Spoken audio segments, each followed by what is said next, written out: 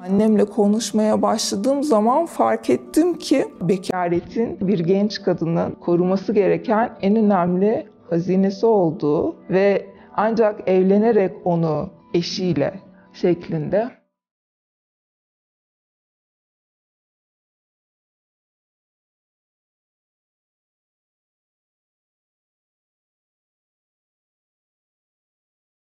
...26 yaşındaydım. Annem benim bakire olmadığımı duyunca yıkıldı. Muhafazakar çevrelere de burun kalkıklığıyla bakan anne babaya sahibim. Aslında kendi muhafazakarlığını yaşıyormuş.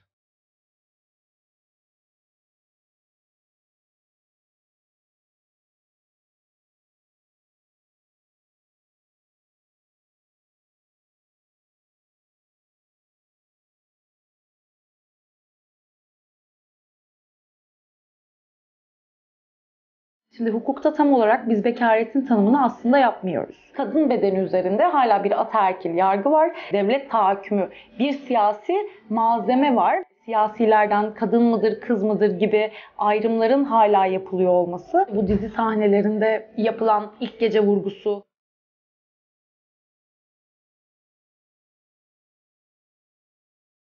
cinselliğimizi yaşadıktan sonra erkek arkadaşımla benden uzaklaşmaya başladı. Kendimi ezik görmeye başladım. Farklı bir psikolojik e, şiddetmiş bu. Esas olayın erkeği mutlu etmek, onun dışında işte üremek olduğunu kafama yerleştirdim.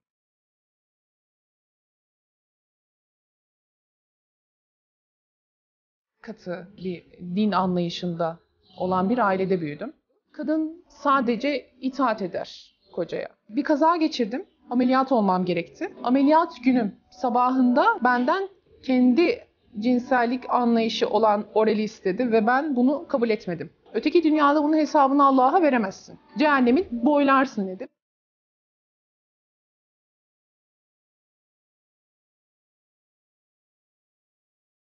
Bizler geliyoruz artık. Cinselliğin diğer kimsenin umursamaması gerektiğini biz biliyoruz. Bu çok mutlu ediyor beni.